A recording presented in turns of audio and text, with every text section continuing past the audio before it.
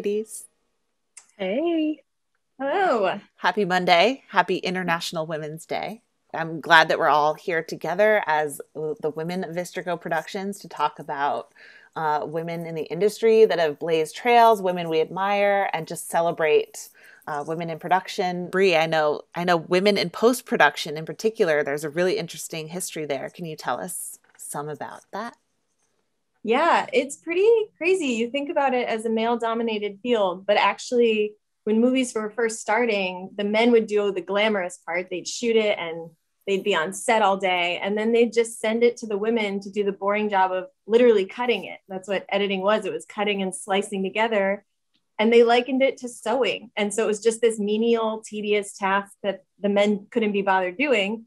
So most of the post production houses in the 20s and 30s were owned by women and there was this just this era of women in charge of the editing process. And then it was margaret booth who kind of invented the close-up and was like wow if we cut really close into this next shot the emotion is so much more intense. And from there it became more of an art and the term film editor was invented. You know it women have been marginalized throughout history but there's always been women editors making really important strides. Um, even the famous cut in Lawrence of Arabia, uh, where the you go from the match to the desert, that famous match cut. Anne V. Coates was working with the, closely with the director and just came up with that. And um, there's there's women throughout history with, with moments like that, and so it's really cool to to sit back and appreciate that legacy. That's so crazy that it was just considered like more of like a technical task and less of, of an art form at some point. I like can't even conceive of that. I know it's such a crucial part of the process now. I can't, it's so, yeah, so weird to think it was just sewing. Some directors would try to start and stop really succinctly so they could control the edit and, and say, you know, we're not giving you a second more footage. This is exactly the footage that you should use. But some directors would just shoot for date anything they could find. The Ten Commandments was a movie where the director shot days and days and days worth of footage. And it fell to this one woman to just piece together a story from that. And it's considered one of the the most arduous editing jobs of all time. the process of editing, which can be arguably quite a tedious process, like it's something that's now being like highlighted and people are actually being seen for like all the work that goes into it. Uh, and I actually feel very similarly about like film scores. And Nora, I know that like that's something that's really important to you, like film scores or this thing that's a lot of people like don't talk about or highlight, but they're really so precious to you. And I know that there are a lot of female film composers that don't often get, you know, highlighted um, adequately. And I would love to know if, you know, what female film composers you are inspired by. Absolutely. I'm obsessed with film scores, as you guys know. There's this organization, the Center for the Study of Women in Television and Film, and they did a study in 2019 and they found that 94% of box office films the previous year were composed by men. Um, so there are very few women working in in film scoring industry, which is which is crazy to me because there there are a lot of great talents. There just haven't been opportunities for them. The Oscars, in particular, they started giving out awards for scoring in like the early 30s, um, and since then, only seven women, seven, have been nominated for any sort of film scoring work. Um, and of those, only four women have ever won. It was 50 years until the first female won an award for best score, and she won it with her husband. It was this woman named Marilyn Bergman, and she and her husband won for the movie Yentl and it was like 1983.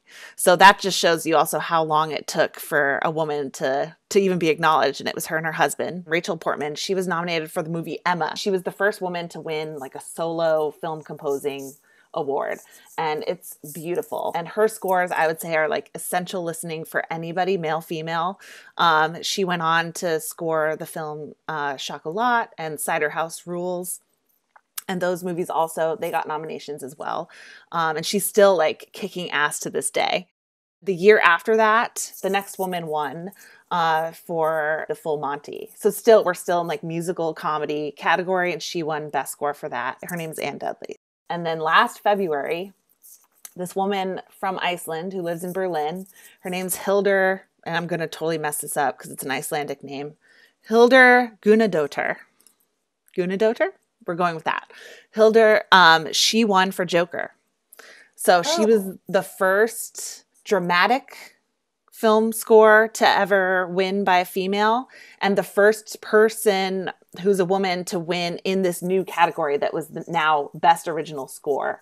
She was the first woman to win in that and she was the first woman to win a Golden Globe uh, solo for her film score and the Joker score please listen to it if you haven't discovered it yet. It's beautiful. She spent a lot of time and care thinking about the Joker in particular and how, you know, it's a movie about mental health and how he's she said he's going through this like excruciating journey and she was trying to get into his head. So it's very dark, it's very powerful, and I think it's just a true work of art. So um, that's worth a listen, but it's just so fascinating to me that she's the fourth of all time and the first like dramatic score. And there are so many greats like the the score for the shining was composed by two amazing women and there's very little music in that film but i think that's like on the level of jaws how iconic it is. Uh, and two women composed the music for that. There's a lot of great female film composers. I even have a spotify playlist that i made um, that hopefully we can share uh, around that's of like kind of some of my favorite female film scoring moments. I think these women prove that you know we have we have the talent we have the creativity we have the drive we have the will we have the abilities um, but we just need that opportunity Yeah, it's really just about being able to be put in the spotlight and prove it and get that chance in the first place. Um, and I think things have definitely been escalating the last few years. Um, Jessie, what what it came out this last year that you that you particularly enjoyed? for me, there were really two films that I felt, you know, did this really amazing thing of almost reinventing the wheel, um, in my opinion. Um, one is this horror thriller that came out last June by Neasa Hardiman. It's called Sea Fever. Um, and it's this really beautiful movie that sort of tracks a young marine biologist who um, basically boards a fishing boat um, in an efforts to study uh, marine organisms. Meanwhile, this mysterious illness kind of takes over the other crew members on the boat, and she is tasked with basically finding out what it is and saving the people who are who are dying on this ship. Um, and something that I find so beautiful about this film is is a lot of times in the horror and thriller genres, we see women either they are the ones who are going crazy and sort of lose their minds, if you will, or they are the sort of demonic presence, right? Whether or not they're like the girl with the long hair, like emerging from the TV, or that, you know, in the long nightgown. And I think what's so fascinating about Sea Fever is the idea that, you know, we have this female protagonist uh, who not only is not, you know, the, a negative presence, right, throughout the film, but is in fact solely responsible for saving this crew of men. Um, and to me, that's something that I just found really, really special, um, just about, uh, you know, the story. Um, and the other movie that I, I, I watched just recently, and Brie, you now share my my fandom uh, for this film, but it's Kirsten Johnson's documentary "Dick Johnson is Dead." Um, it came out last year, um, and it's just such a wonderful examination of this woman's father, whom she loves so dearly, uh, and just their relationship. And it's it's a really up close encounter with death and memory and familial ties. Um, and it's a documentary, but it's surreal in a lot of ways. And I think at this point, you know, in, now we're in 2021, but in 2020, to think about reinventing a genre, to me, that's such a challenge. Um, but she did it and she did it so beautifully. Um, and it's just wonderful to see movies like this come out that are not only stunning to, to watch, like as a viewer, but are just really challenging the norms of genre and of stereotypical female roles in films. Um, I just find that to be so profound. I felt that that movie was special, especially because it really pointed out that as we allow new voices and as we allow more people to express themselves without limitations, there's going to just be new stories. Like we have, as women, there's just a unique perspective, um, as there is with any marginalized or minority group. and it's exciting to see them come to light with that that full budget and that full crew that's behind them and supporting them and and helping them really create their vision. I need to watch those movies. Stat. Oh, Yeah. so good. just like don't go on camera immediately the next day is all I'm gonna say about that.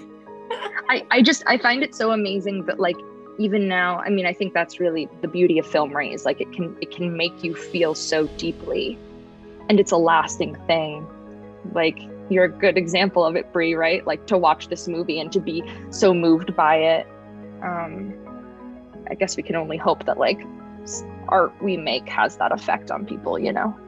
you know it feels kind of silly especially it's it's it's easy to feel comfortable in this company and, and in our work day to day but it's nice to just take a moment and appreciate you guys and appreciate the people our colleagues in the industry and um, just want to thank you guys for being there to to listen to and talk to whenever we need it and uh, yeah happy uh, happy international women's day Happy International Women's Day.